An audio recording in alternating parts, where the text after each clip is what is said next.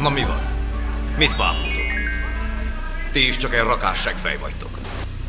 És tudjátok miért? Mert nem vagytok elég tökösek ahhoz, hogy azok legyetek, akik lenni szeretnétek. Szükségetek van az olyanokra, mint én. Szükségetek van rá, hogy újjal mutogathassatok és mondhassátok. Ő a gonosz.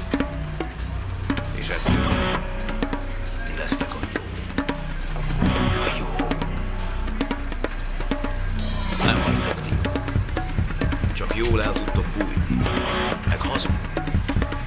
De nekem nincs ilyen probléma. Én mindig az igazam.